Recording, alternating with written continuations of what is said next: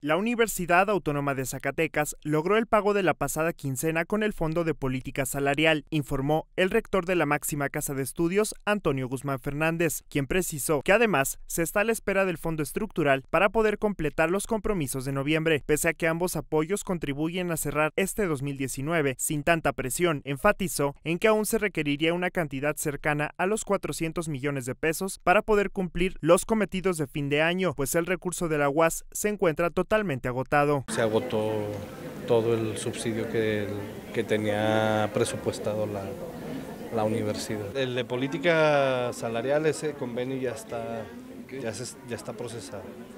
Estamos esperando el que tiene que ver con reformas estructurales, que es el U081, que vamos a ver cuánto recurso hay.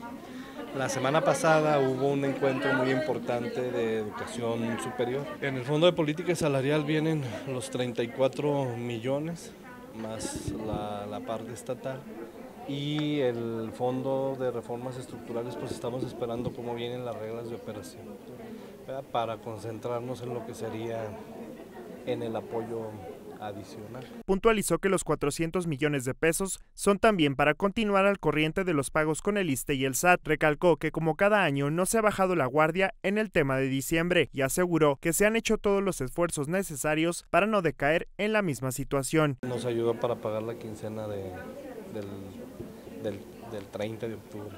Es decir, que por ejemplo para la primera de noviembre ahora estamos esperando la administración de lo que nos resta de noviembre. Con eso pretendemos ponernos al corriente en, lo que nos falta para cerrar el año de seguridad social y pagar la quincena.